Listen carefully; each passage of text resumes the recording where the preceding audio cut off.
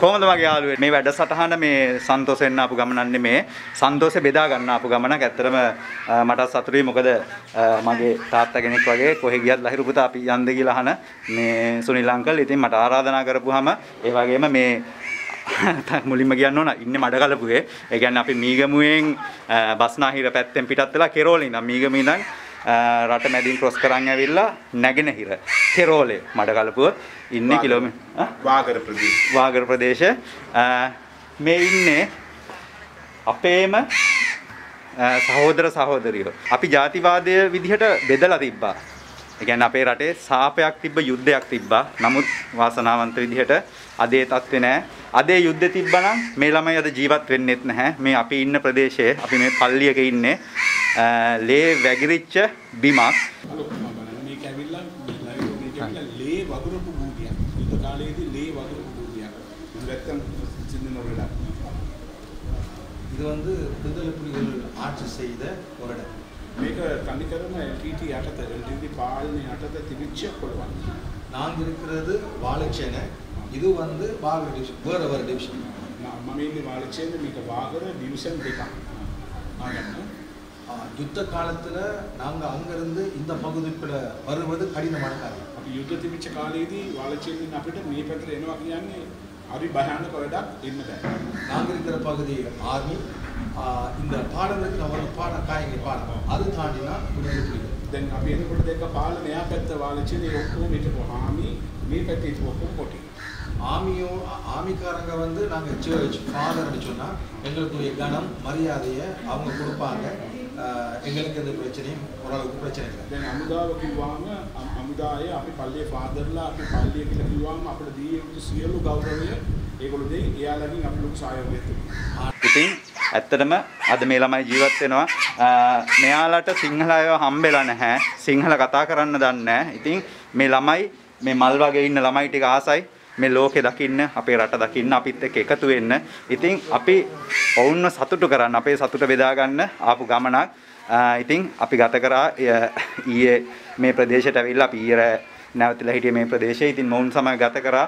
අ, මොවුන් එක්ක කතා කරද්දී ඇත්තටම අපේ ඇස් වලට කඳුළු වෙනවා. මොකද හේතුව අපිට මොනවද නැත්තේ කියලා හිතෙනවා අපි අ, ටවුන් වල ජීවත් වෙන අයට අ, මෙහෙ මොනවද තියෙන්නේ කියලා හිතෙනවා. නමුත් මේ ළමයිට අ, පුදුම අත්දැකීම් දැන් සමහර ළමයි යුද්ධ දැකලා නැතිවද මේ ළමයා ග්‍රේඩ් 8 ග්‍රේඩ් 8 ග්‍රේඩ් 8 කියන අවුරුදු 12යිනේ. එතකොට අ, ඉපදෙන කාලේ තමයි යුද්ධේ නැවතුනේ. අ, එතකොට මේ ලොකු ළමයි මේ යුද්ධෙට මුහුණ දීලා තියෙනවා. මෙයාලගේ අම්- දෙමව්පියෝ අ, සමහරවල්ලාට ජීවිත මාත්‍ර ඉන්නවද නැද්ද දන්නේ නැහැ. සහෝදර සහෝදරියෝ ඉතින් ලයිරු දැන් අපි 1993 දී අපි සේවය කරලා එන්න ඕන කැලෑවක මැද්දේ. அந்த சந்தர்ப்பத்தில் எங்களை வழிமறித்து சில குழுவினர்கள் எங்களுக்கு அடித்தார்கள் ඒ කාලේ හිටපු ඒ රස්තවාදීන් ආ, අපිට ගැව්වා, වට කරලා ගැව්වා, හැමෝම ගැව්වා. எனக்கு மகள் மூத்த மகள் வயிற்றில் எனக்கு அஞ்சு மாசம் එතකොට මම ගැබ්බෙලා මාස 5යි என்னையும் என்னுடைய கணவரையும் காட்டுக்குள்ள மறிச்சு முப்பத்தைந்து பேர் அடித்தார்கள் காயப்படுத்தினார்கள் இயேசுவை பற்றி சொன்னவனாம் என்று சொன்னார்கள் ඒගොල්ලෝ කිව්වා අපි දෙන්නට බැඳලා ගහලා විශාල 35 දෙනෙක් වට කරලා ගැව්වා, දිගටම ගැව්වා. පක්කවාදම ඔයිලා පාදික්කපට 2008 දී අර මේ සියලු දේ එමතිස්සම ගෙවවන්නේ ගොඩාක් වෙලාවට ඒගොල්ලෝ ඔළුවට තමයි ගාලා තිබුණේ. ඒ නිසාම නාරයක් මොකක් කරි වෙලා යා අංශබාධ රෝගීක් වුණා.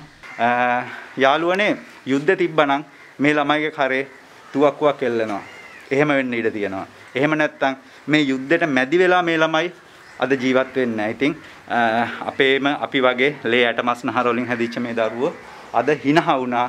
ඉතින් ඔවුන් hina වෙද්දි අපිට ඇඬුණා. මොකද හේතුව ඒ ඒ අත්දැකීම මට මේ බෙදා ගන්න බෑ මෙහෙම වචන වලින්. මොකද දවසක් ගත කරද්දී මම ඇත්තටම පුතේ සන්තෝෂ වෙනවා මම තාත්තට විදිහට. பிள்ளைகளே நான் ரொம்ப சந்தோஷப்பட நான் ஒரு தகப்பனா இருக்கிறபடியா ඔගොල්ලෝ වගේ දරුවෝ එක්ක මෙතන වාඩි වෙලා ඉන්න මම වාසනාවන්ත වෙනවා. உங்களை மாதிரி பிள்ளைகளோட நான் உட்கார்ந்து இருப்பதே பெரிய ஒரு தேவனுடைய கிருபையில் நான் இருக்கிறேன் අපි ජාතියක් විදිහට පැති දෙකකට බෙදලා හිටියා. நாங்கள் ரெண்டு ஜாதிகளாக யுத்தம் செஞ்சுக்கிட்டு ரெண்டு பக்கம் நாங்கள் பிரிஞ்ச ஜனங்கள் අපිට මහා සාපල යුද්ධයකට අපි බැඳි වුණා. ச- சாபமான ஒரு யுத்தத்தில் தான் நாங்கள் காலம் கடந்து போனது ඉතින් අපි නෙමේ ගොඩාක් වැටකෑවේ ඔයගොල්ලෝ. அஹ் எங்களை விட மிக கஷ்டப்பட்டவங்க நீங்கள் ඔයගොල්ලන්ගේ අම්මා තාත්තා ඔයගොල්ලෝ සහෝදරයෝ ඔයගොල්ලෝ නෑදෑයෝ අ, මේ අය විතරක් නෙමෙයි අපි මෙයාලගේ වැඩිහිටි සහෝදරයොත් එක්ක ඊයේ රෑ කාලය ගත කරා. ඉතින් ඔවුන් හරි ආසයි අපිත් එක්ක එකතු වෙන්න.